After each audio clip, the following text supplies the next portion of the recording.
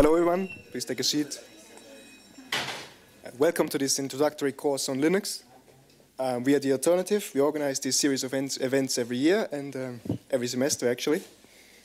And uh, please, uh, everybody get a, one of these feedback sheets. They provide very valuable feedback to us so we can improve these courses even further.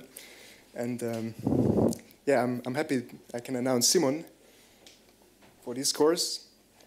Um, he's a computer science student, and uh, he told me he's been a Linux user since he was 12. And uh, yeah, let's uh, give it up for Simon.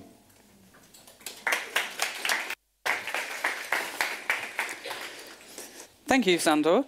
Um, I'd like to welcome everyone. Thank you for coming in such huge numbers. I will introduce you to Linux over the next 90 minutes. Um, but first, I will say something uh, about us, the alternative. In case you have been to the previous um, course about free software, you already know who we are, but I will go over the short facts anyway. Um, we are a student organization who promotes uh, a more, a more sustainable digital lifestyle. We do this primarily through these promotion events for Linux. Um, you can check our website uh, at thealternative.ch. Um, Somewhere around here there should be flyers. Did we bring them? No. Um, and yes, we are open to new members all through the year. So then, what is this going to be about? Um, of course, what is Linux? Who knows what's Linux? Oh, okay. So I can go home now? No?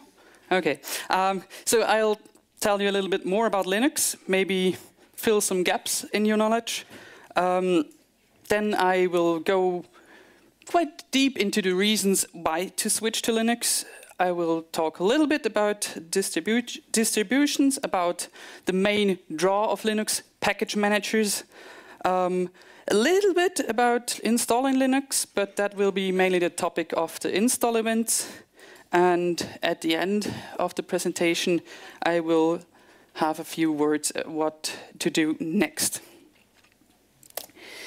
So, you had a long day, I presume, a little bit tired. Uh, so we will have a little exercise uh, to reactivate your brains and uh, get you engaged. Uh, would you please all stand up?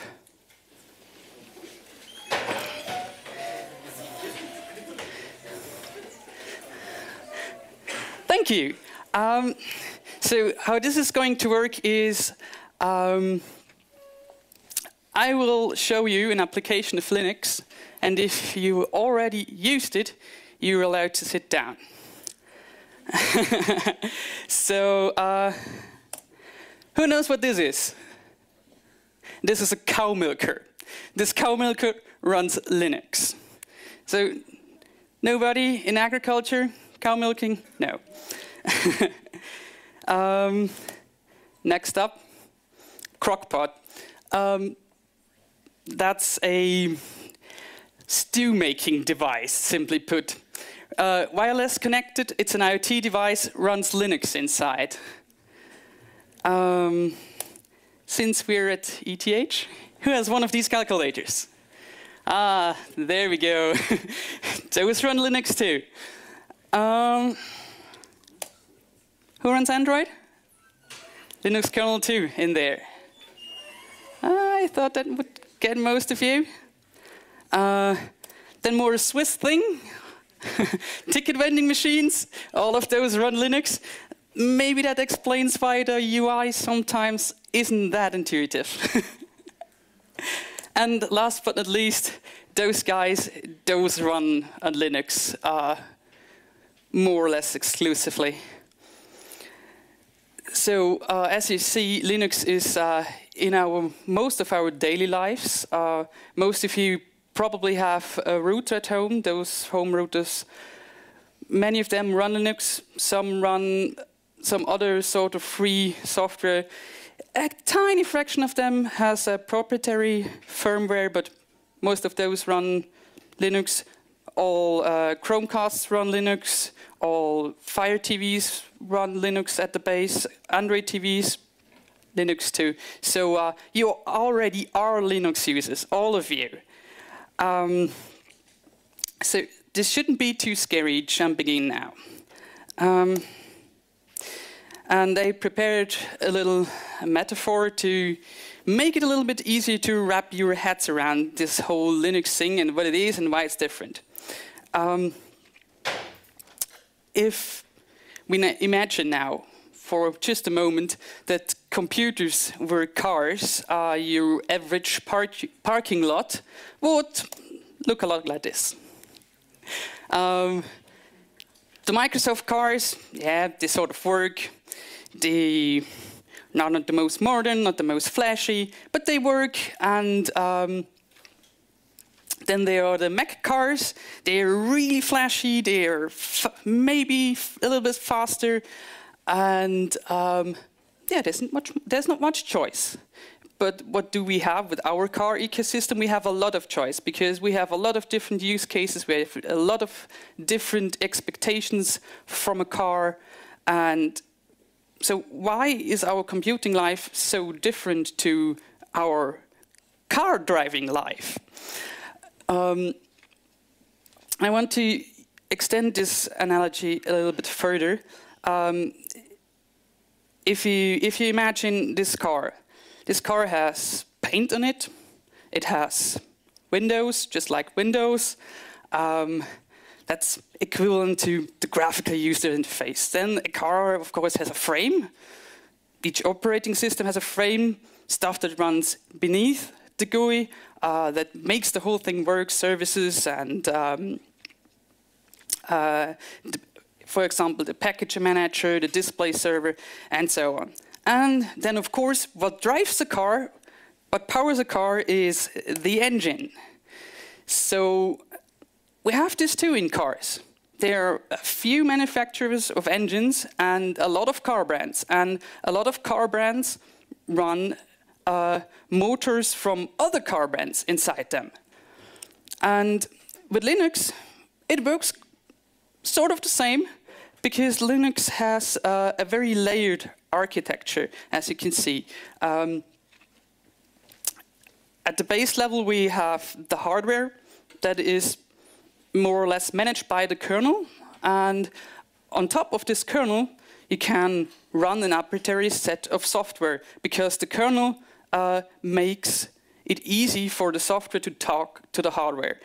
It takes keyboard, it, it, it takes uh, keyboard input, it displays images on, on the screen, it sends and receives network packages, etc. And above this, um, this kernel layer, there is usually in Linux the, a shell environment, um, or what's called a terminal. Next layer up, we have a display server, and on top of that, there is a very thin layer of paint, um, just with the car, just like with the car. Uh, what's the GUI? And all of those layers are more or less uh, interchangeable according to your own tastes. Um, now, the tricky thing about um, cars is uh, with cars, you're allowed to tinker, more or less. You can do all sorts of things to your car. Um, with modern, op modern operating systems, not so much. They don't allow you to tinker. If you don't like the font, yeah, you can change the font. If you don't like the design, uh, it's getting iffy. Um, but with Linux, of course, you're allowed to tinker with everything. Um, also, the, the, engine is slightly less complex than the Linux kernel. Uh, the Linux kernel at the moment has about 20 million lines of code. And yeah, a rough average time per line of code is about 10 minutes of work time that is spent distributed over all the code lines. So uh, if you run the math in your head. It's a massive project. Um, next up, a little bit, just a little bit about licensing. Um, you already heard that at the FOSS talk, a lot about licensing. Um, the Linux kernel is all GPL version 2. That means um, it through and through free software. Um, you're allowed to copy it, change it, redistribute it, and so on. Um, then, of course, uh, there are binary blobs in the kernel that are proprietary, for example, to Intel or NVIDIA. But uh, that doesn't really matter because it works with the kernel. Of course, there are purists that say, yeah, this is not really Linux. No, we don't do that. But that's politics. No politics today. um, so the open licensing thing always throws up the question, who made Linux? Who does this? And why? So, who knows this guy? Who is this? Tell me? Yes, that's Linus Torvalds. Uh, did he create Linux? Uh, about 24, 23 years ago now. Uh, just last last week, yes, last week was uh, um, the birthday of Linux. Um, did he create it? Yes, maybe initially, but the idea really he just needed he just needed an operating system, so he wrote one. Because I can, he, he, he wrote compilers, he wrote uh, text editors. Why not an operating system? Mm, this guy, anyone? Oh, okay, not so much. Um, that's Richard Stallman. He is the creator of the GPL license.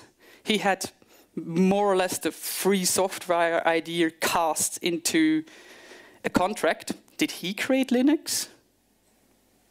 not so much. He, he actually claims, I never installed GNU slash Linux. So did he create that?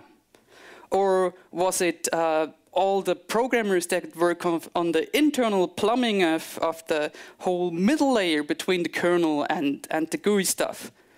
Like those two guys, the maintainers that maintain the code in the kernel? Or is it the people with the big money that uh, throw a whole lot of money behind uh, certain distributions. Are it those guys who made Linux? Or those guys? The um, organizations that commercially sell Linux? Did they create Linux? Or more the independent funding gathering organizations, the foundations, did they create Linux? It's, it's really complicated, and that's the beautiful thing about Linux. Because it's only possible if we all work together. And uh, it's really, really mm, a community effort. And I'd have the bold claim that we today, here, right now, create Linux. Because Linux is not only about not only about open, so open source, it's not only about the code.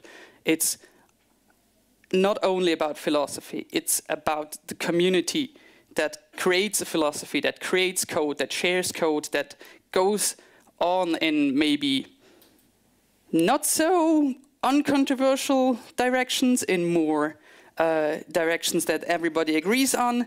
And that's why I say we today here create Linux.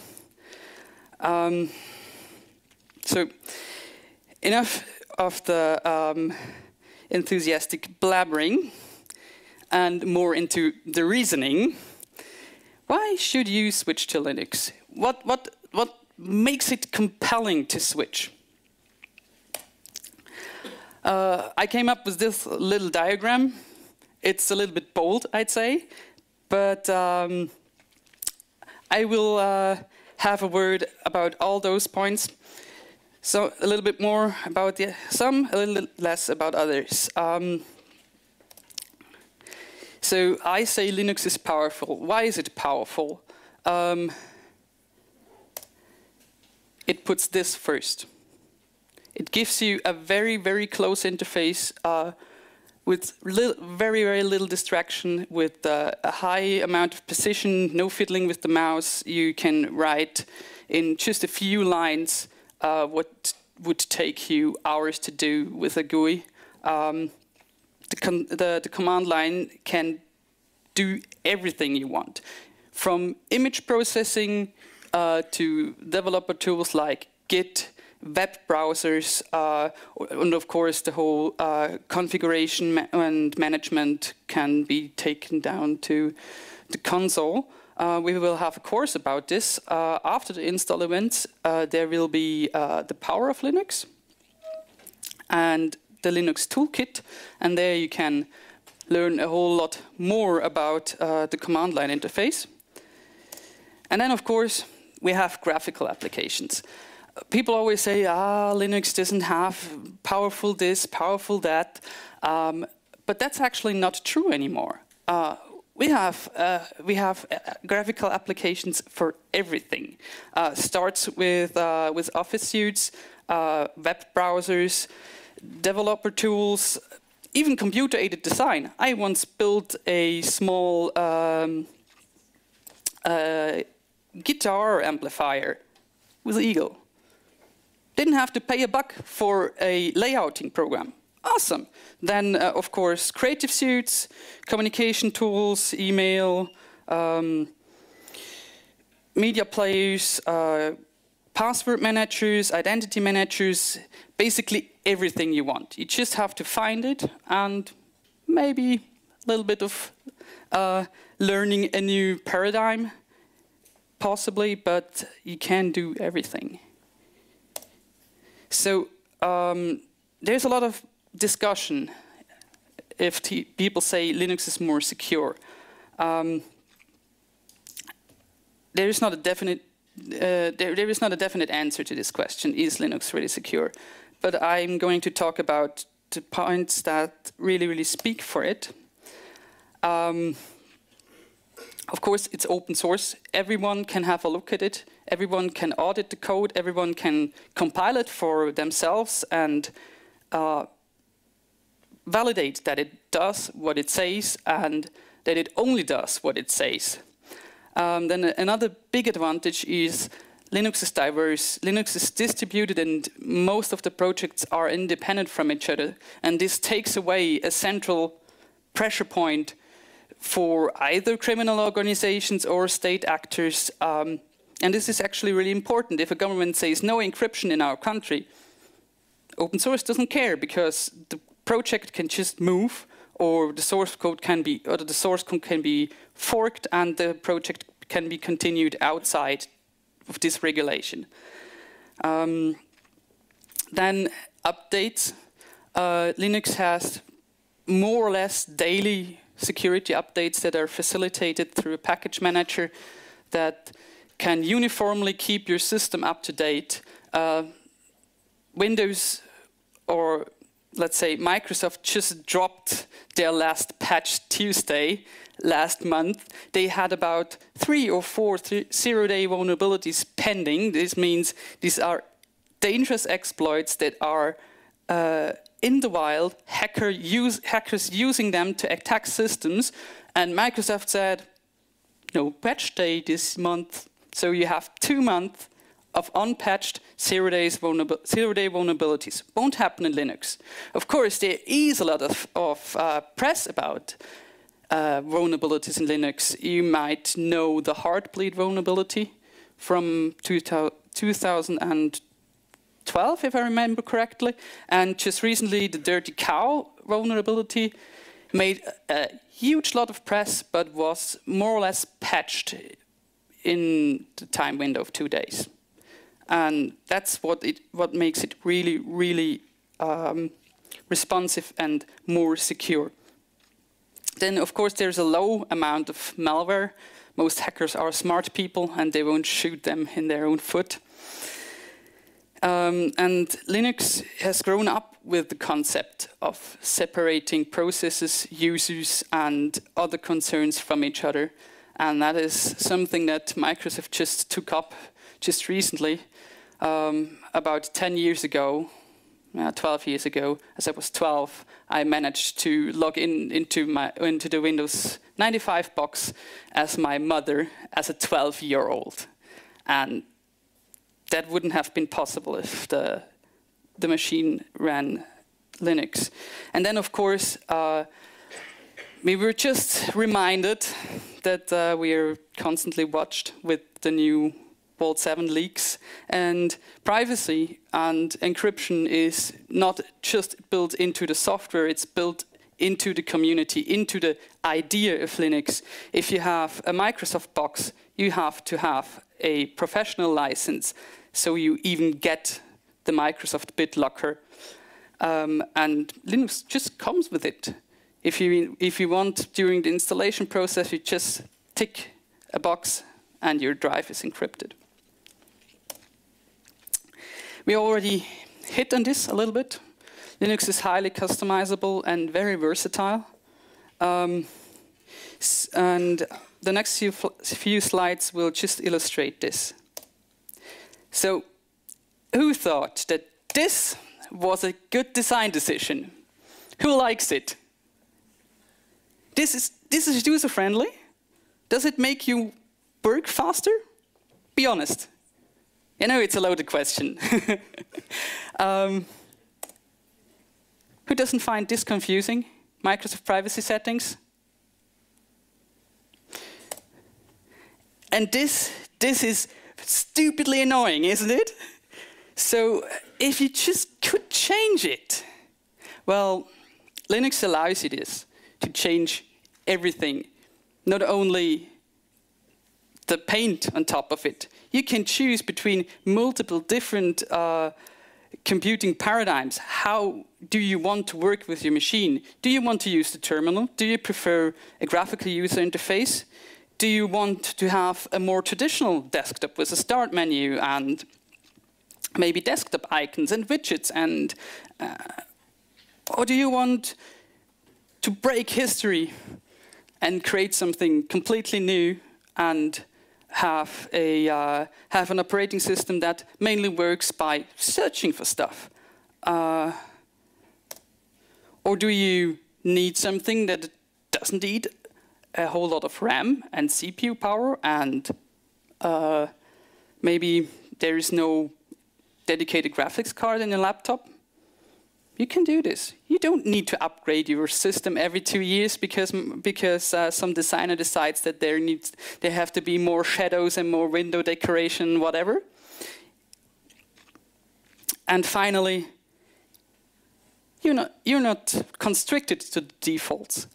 On the one side, you have a default installation of XFCE.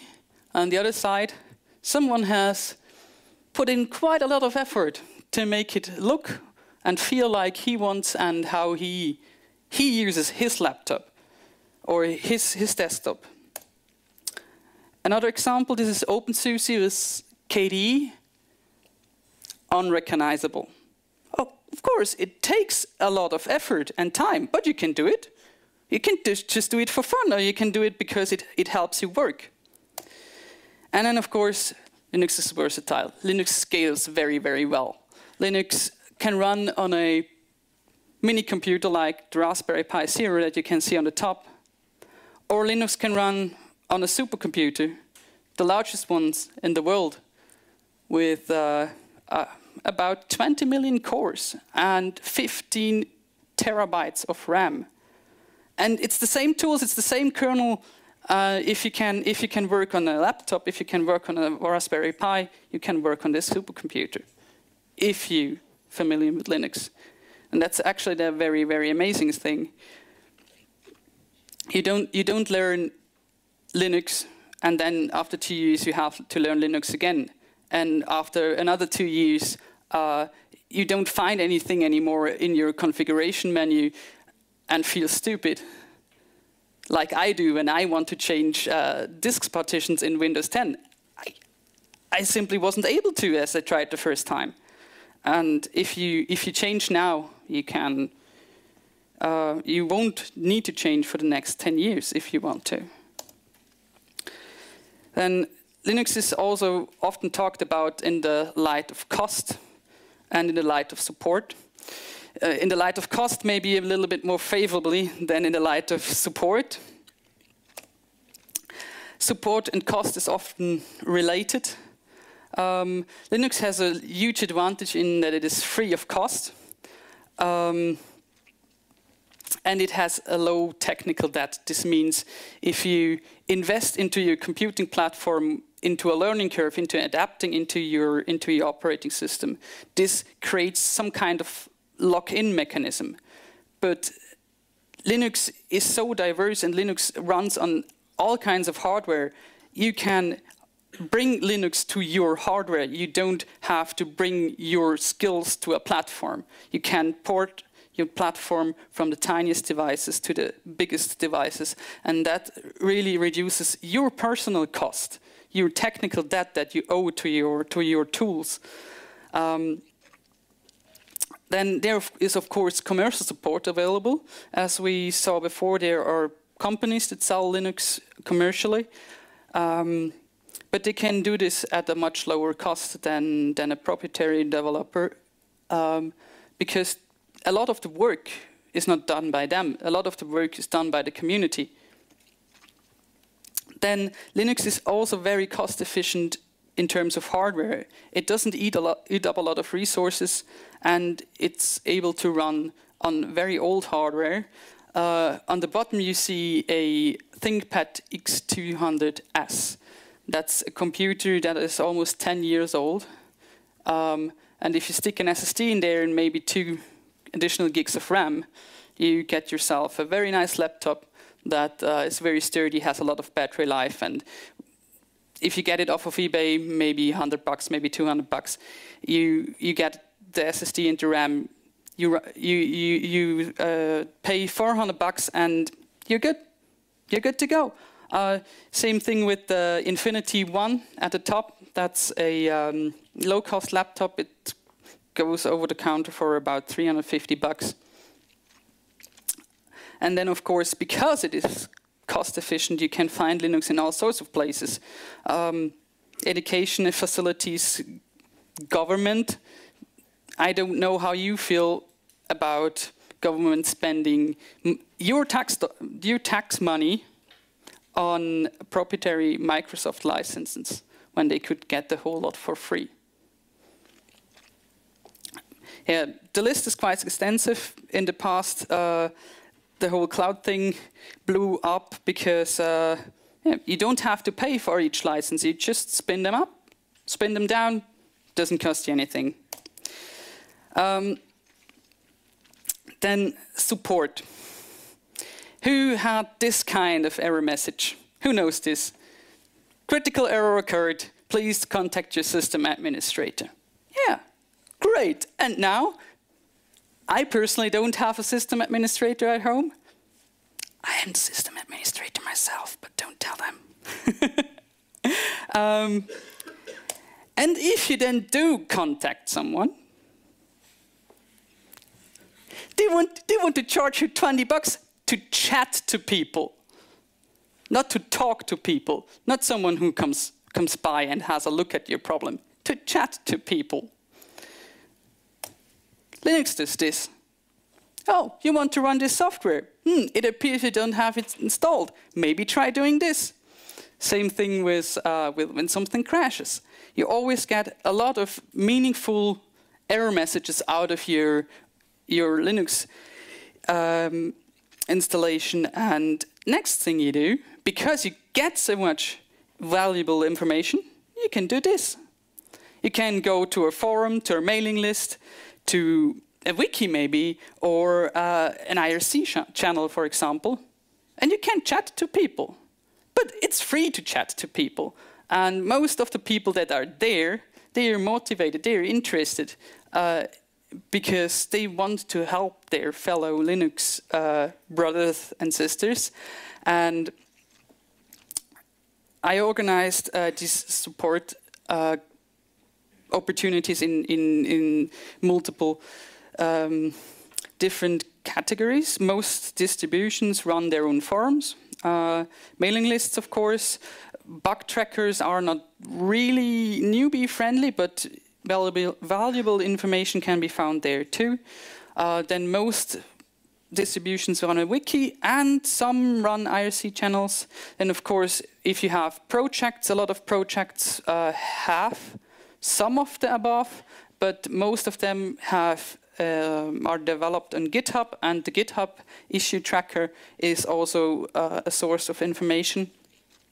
And of course, there is community-driven stuff like blogs uh, and Reddit. Reddit is actually quite cool for, for getting Linux support. Then there's uh, the Stack, Stack Exchange group that has a lot of Linux-centered uh, exchange platforms. User groups like us.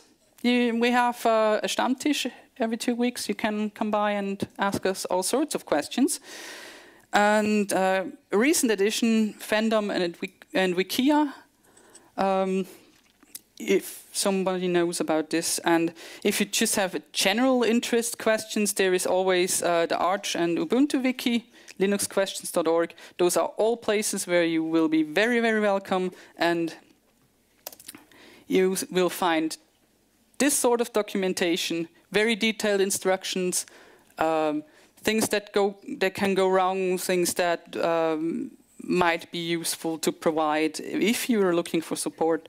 And if you then actually post a question, you usually get a lot of feedback and it will come quite quickly. This is 10 minutes later. The guy has some issue with his sound system and he decided to post on the Arch Wiki and he got the response 10 minutes after. Uh, last time I wanted to contact Microsoft for support, I uh, spent one and a half hours in about three different phone trees. Wasn't a lot of fun. So then, uh, now we are more or less halfway through. Um, would you want to have a break for 10 minutes? No? Okay. Then let's rip right through.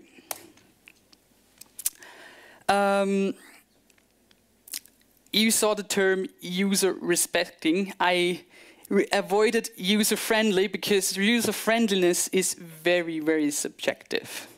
Um, no, thank you, Windows 10. I don't want to upgrade. I really don't.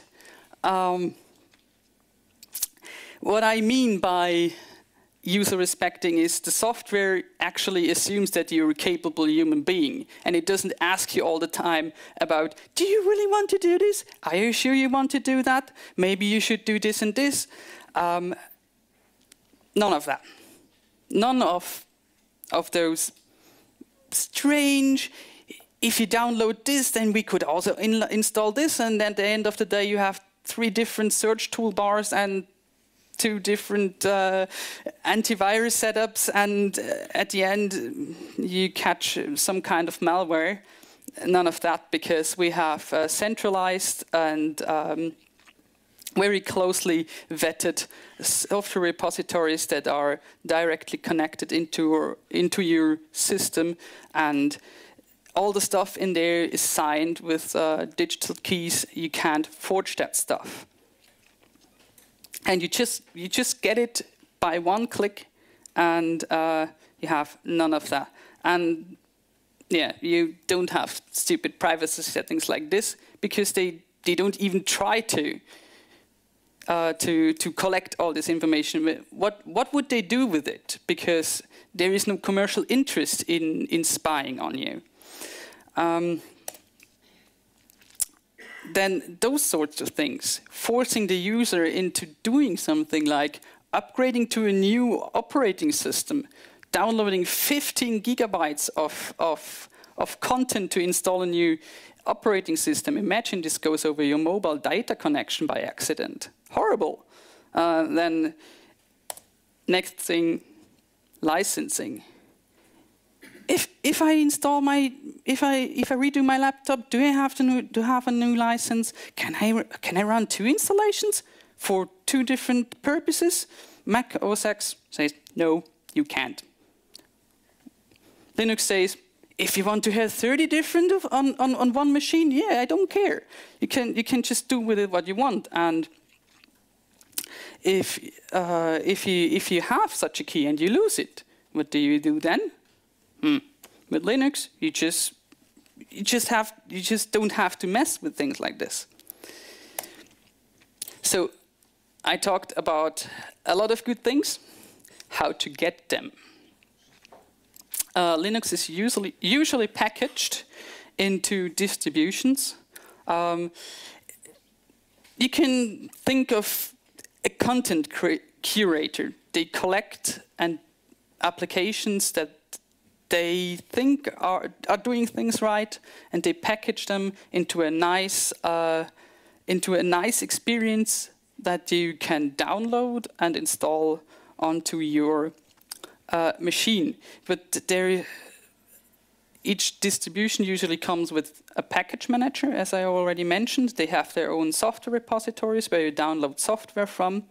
But the really core of a distribution is their philosophy. Each distribution has their own idea how computing should work. Debian focuses on stability because they they really value stable software that can run for years without reboot on servers. Um, they prefer not breaking stuff over over the newest and shiniest. And then there's, for example, Fedora that risks breaking some stuff. On the other hand, you get the newest and the flashiest. Then there's Ubuntu. Ubuntu focuses on, on usability, uh, on user friendliness, um, on a lot on, on, on uh, friendliness towards newer users, and each each and every distribution chooses its own core values. And this, of course, leads to a lot of this everyone in here, I guess, has his own little preferences about computing, and if you if you sum that up into into a bigger picture, um, you get a lot of a lot of different flavors of Linux. Um, on the on this side, you can see the main uh, the main distributions that uh, have sprung up over the years, and on this side, you have just a tiny, tiny little fraction, uh, the upper like third. Um, and this is this is all these are all distributions based on Debian. Um, and all those all those are derived from Debian. And Debian provided the, the groundwork and they took that groundwork and gave it their gave it their own idea, implanted it their their own idea. Ubuntu is based on Debian, but if you install a Debian, you will feel like it's five it's five years old. It's truly five year old. If you install if you install an Ubuntu, you don't get that feeling. Um, and this um, this really shows how how open source is truly enabling to everyone.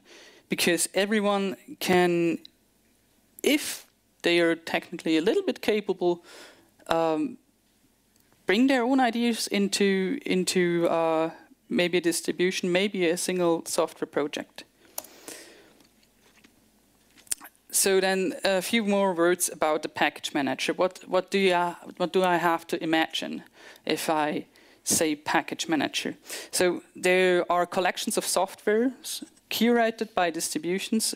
Um, they're, in, in, they're stored on the internet in what's called a repository, and the package manager is basically an interface that allows you to search and find applications in there, download them, install them, configure them automatically with a with a with a default setting, and at the end, if you don't use it anymore, remove it with and remove all of it. Um, everything that was installed with this application is gone afterwards. You uninstall it unless some other program uses a part of, of the installed application. And I can just show you this now. Um, this here is, uh, um, yeah, oops. Go over there? Yes, please, like this. This here is uh, the software center of Fedora, um, and it's pretty much point and click. Um, if you if you want to install new software, you click one of those items, and you're done. It does it all for you. And if I manage to hit this button, I can show you how mm, updates work. Updates work basically like clicking this button. You don't have to update your Flash, your Java, your Chrome, your Firefox, and your Microsoft Office suite independently. You just hit one button, everything is done. You can even say, I don't want to hit this button. Just do it.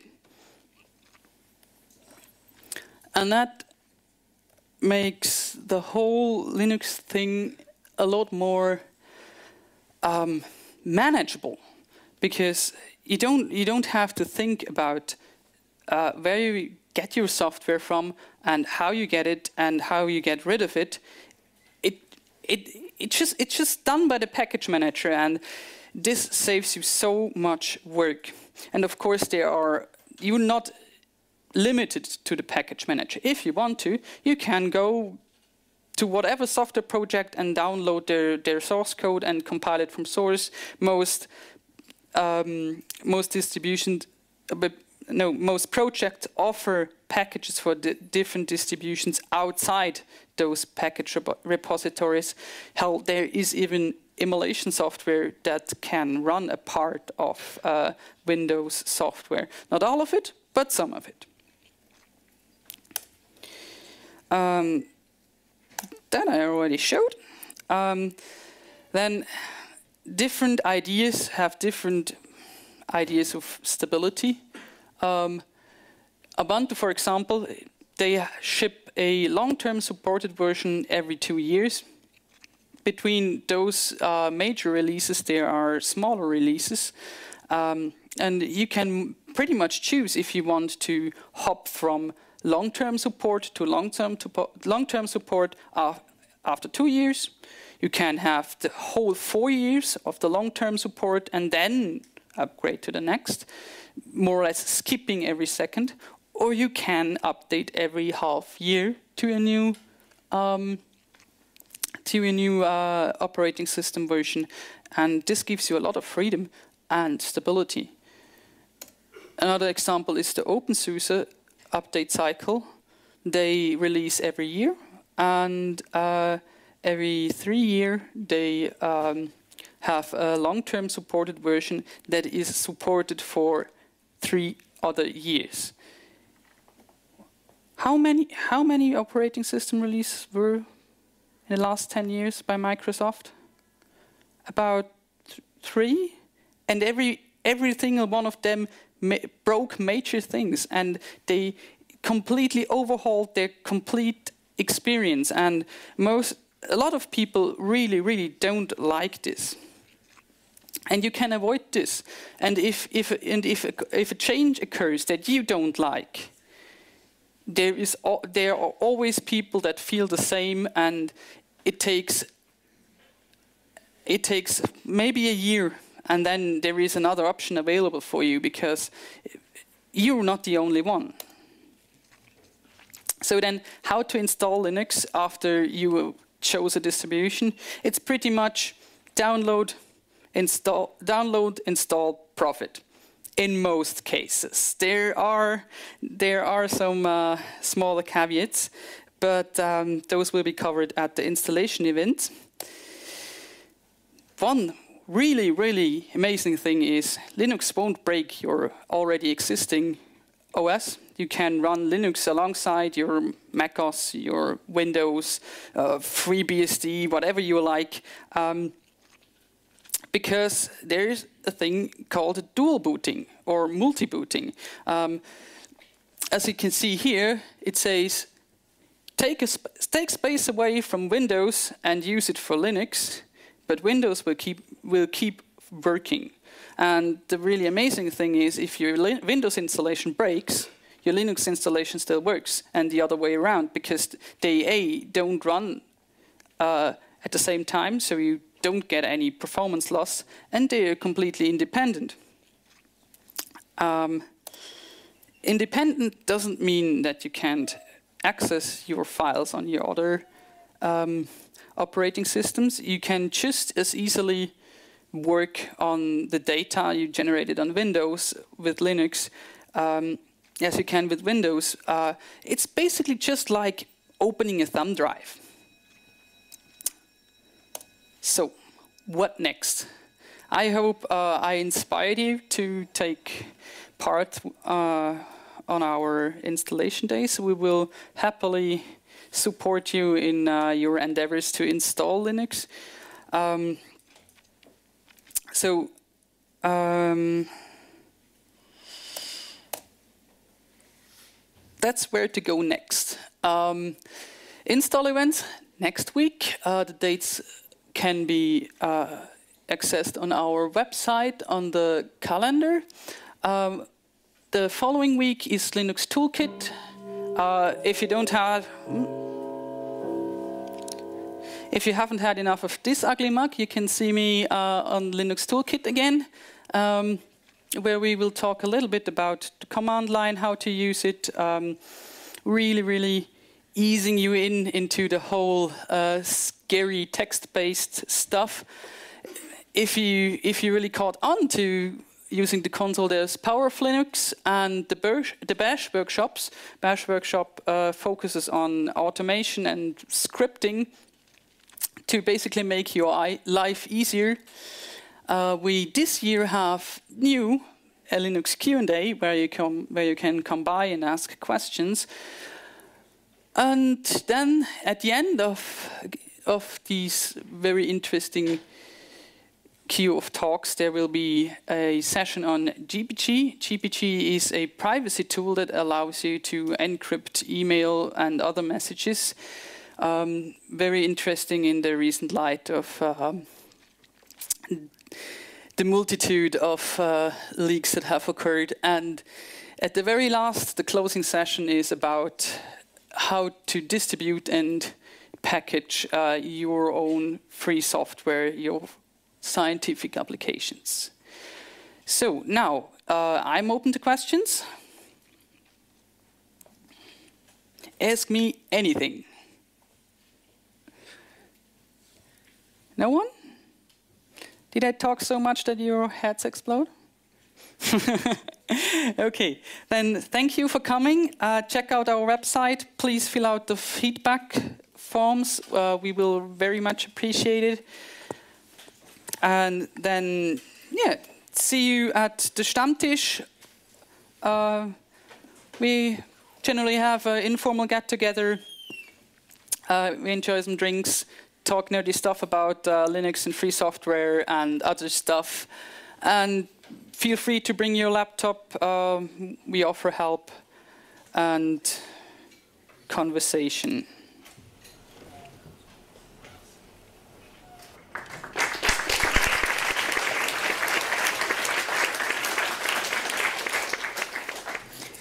Right, thanks everybody, everyone. Um, we have some demonstration laptops uh, prepared if you want to come and uh, try out some of these Linux distributions and uh, have a play with it and also talk to us if you like.